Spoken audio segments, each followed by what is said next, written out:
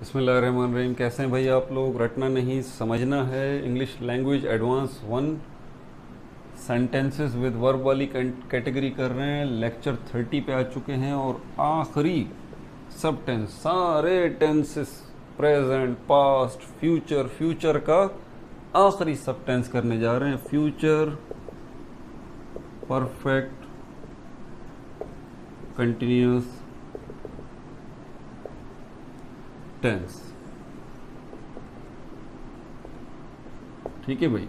हल्के बच्चों के लिए नहीं है, मेहनती बच्चों के लिए चैलेंजिंग बच्चों के लिए, ज़िद्दी बच्चों के लिए, ठीक है? यकीनन, आप लोगों ने पहले जो है, कौन सा वाला? प्रेजेंट परफेक्ट कंटिन्यूस भी कर लिया होगा पास्ट परफेक्ट कंटिन्यूस भी कर लिया होगा तो फ्यूचर परफेक्ट कंटिन्यूस आपके लिए समझना बहुत ही ज़्यादा आसान है। जो अभी अभी आए हैं पहली दफ़ा देख रहे हैं, उनके लिए तो कोई फ़ायदा नहीं है। वो वीडियो बंद ही कर दें तो बेहतर है। पिछली वीडियो उस पर जाएँ, शुरू से चलें, लेक्चर थर्टी पे थर्टी पे हैं अभी हम तो आपको कुछ भी समझ में नहीं आएगा, ठीक है? आइडेंटिफिकेशन, पहचान, इसकी क्या है? प्रोसीजर हमारा वही है। उर्दू से इंग्लिश की तरफ़ हमने जाना है। अपनी उर्दू ज़बान से इंग्लिश की तरफ़ हमारी ज़बान के कौन से जुमले हैं? कैसे पहचानेंगे उनको? रहा होगा। रही होगी वगैरह। एक तो ये पहचान है, दूसरी पहचान इसमें वक्त। टाइम दिया होगा। वही सब कुछ वही है। Present perfect continuous past perfect continuous सब कुछ वही है। फ़र्क सिर्फ़ जो है, आइडेंटिफिकेशन का है और फॉर्मूले का है। फॉर्मूला देखें इसका। फॉर्मूला हमारे पास क्या है? सब्जेक्ट आएगा। प्लस हेल्पिंग वर्ब में आएगा विल हैव बीन ये हेल्पिंग वर्ब हो गया नंबर टू पे। प्लस मेन वर्ब की कौन सी फॉर्म आएगी? फोर्थ फॉर्म आएगी। प्लस ऑब्जेक्ट आ जाएगा। प्लस सिंस आएगा या फॉर आएगा। क्या आएगा? सिंस आएगा या फॉर आएगा। ये फॉर्मूला हो चुका। एग्ज़ाम्पल लें।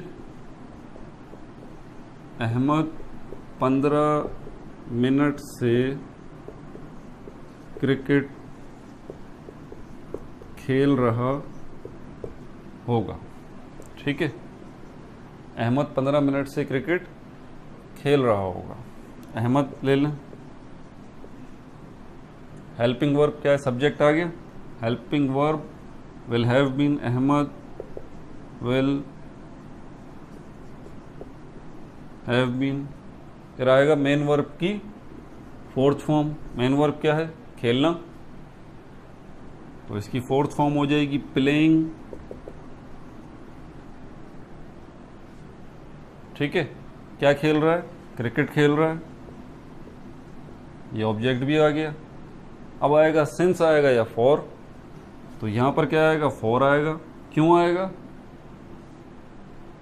पता है आप लोग जो यहाँ तक पहुँचे उन्हें पता है क्यों फॉर आएगा और सिंस क्यों नहीं आएगा? बताने की कोई ज़रूरत नहीं है। फॉर 15 मिनट्स हो गया भाई? ठीक है। एक्सरसाइज देखें इसकी। मिटा दूँ ये? ये आ गया।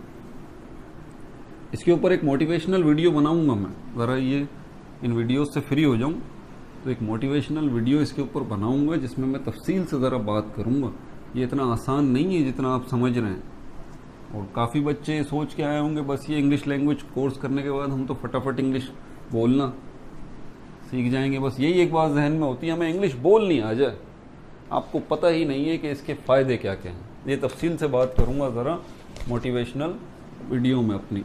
उसमें बताऊँगा कि इसके फ़ायदे क्या क्या हैं। आपको अंदाज़ा भी नहीं है कि अगर आप ये कर लेते हैं तो आपको किन किन एरियाज़ में कहाँ कहाँ फ़ायदे होंगे, ये बात आपको समझ आ गई ना तो आप दुआ देंगे।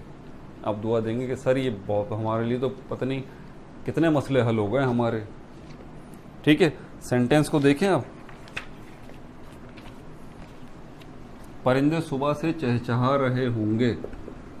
परिंदे सुबह से चह, चहचहा। रहे होंगे। परिंदे होते हैं ना बर्ड्स खूबसूरत आवाज़ें निकालते हैं। परिंदों को तो बर्ड्स कहते हैं, सुबह मॉर्निंग हो गया। चहचहाना, इसको कहते हैं chirp C H I R P chirp ठीक है? नंबर टू पे आ जाए। फाइव सेंटेंसेस दूँगा, बस इसके ज़्यादा नहीं। एहसन सुबह से सवाल हल कर रहा होगा। एहसन सुबह से सवाल हल कर रहा होगा। ये तो बहुत ही आसान है। एहसन तो एहसन है, सुबह से मॉर्निंग सवाल हल करने को क्या कहेंगे? सॉल्व ठीक है? उसके बाद मेरा दोस्त दस मिनट से दरवाजे पर दस्तक दे रहा होगा। मेरा दोस्त दस मिनट से दरवाजे पर दस्तक दे रहा होगा। Number three.